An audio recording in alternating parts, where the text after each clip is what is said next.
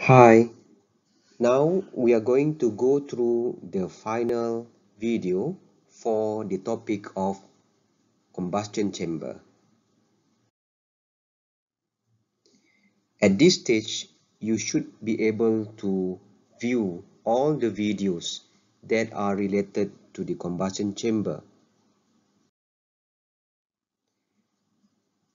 As a reminder, we have already looked at the introduction or the overview, combustion process, fuel supply, types of combustion chamber, and for this video we will look into combustion chamber performance as well as the materials of construction.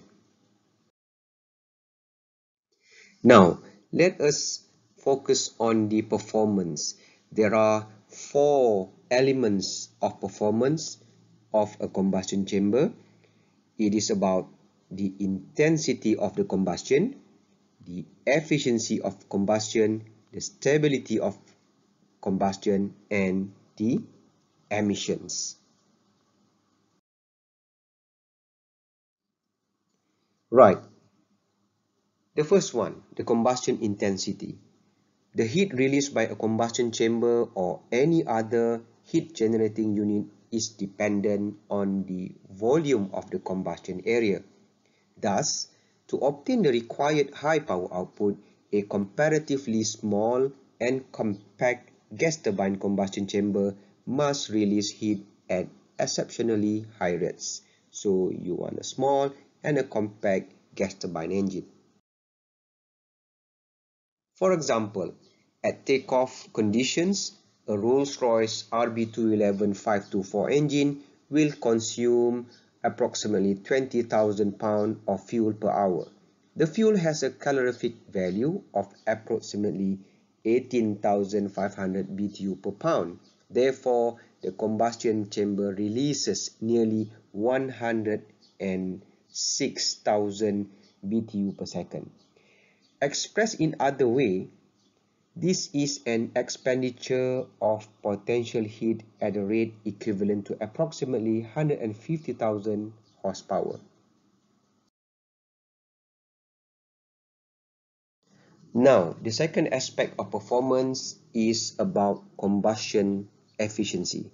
The combustion efficiency of most gas turbine engine at sea level takeoff condition is almost 100% and it will reduce to 98% at altitude of cruise condition. So roughly about there is about 98%. And uh, you we normally use this particular chart to predict in terms of the combustion efficiency at the operating range. And this chart also look into the overall air fuel ratio.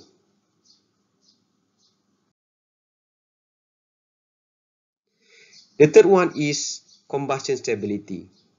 The combustion stability means smooth burning and the ability of the flame to remain alight over a wide range of operation. For any particular type of combustion chamber, there is both rich and weak limit to the air-fuel ratio, beyond which the flame is extinguished. And extinction is also most likely to occur in flight during a glide or dive with the engine idling. When there is a high airflow going into the combustion chamber, where only small fuel are flowing.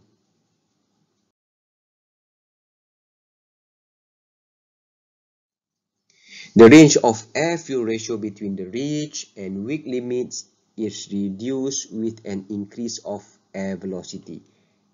Okay, so you have higher air velocity, it will then alter the rich as well as the weak limits. And if the air mass flow is increased of air velocity, and if the air mass flow is increased beyond certain value, definitely flame extinction will occur. The operating range defined by the stability loop must obviously cover the air-fuel ratio and mass flow of the combustion chamber.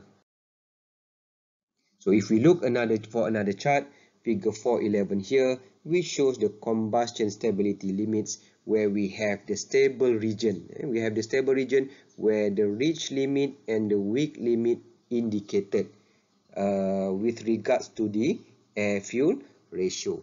So the ignition process has weak and rich limits similar to be, to be shown here.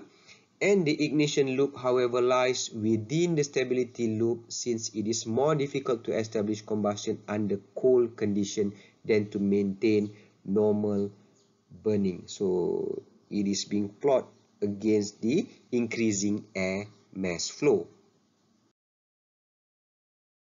The last one on the performance is about emissions. The unwanted pollutants which are found in the exhaust gases are created within the combustion chamber. Right? So there are four main pollutants here which are legislatively controlled. First is the unburned hydrocarbons, the smoke, the carbon particles, carbon monoxide which is the CO, and oxide of nitrogen which is NOx. Okay.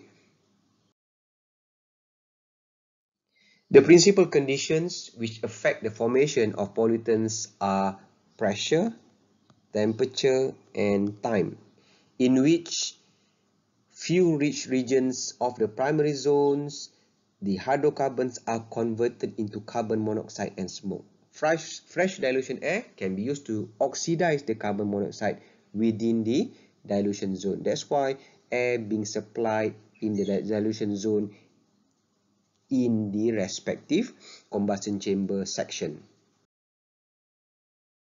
The unburned hydrocarbons can also be reduced in this zone by continuing the combustion process. So you can reduce the unburned hydrocarbon or the HC right by continuing the combustion process. Oxides of nitrogen are formed, NOx, under the same condition as those required for the suppression of other pollutants. Therefore, it is de desirable to cool the flame as quickly as possible and to reduce the time available for combustion.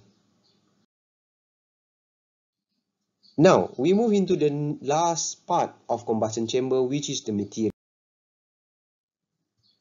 With regard to the materials, the containing wall and internal parts of the combustion chamber must be capable of resisting the very high temperature in the primary zone. Remember, it's about 1800 degrees Celsius to 2100 degrees Celsius. In practice, this is achieved by using the best resisting materials available. The use of high heat resistant coatings as well as using cooling method on the inner wall of the flame tube as an insulation from the flame. The combustion chamber must also withstand corrosion due to the products of the combustion, creep failure due to the temperature gradients, and fatigue due to vibrational stresses.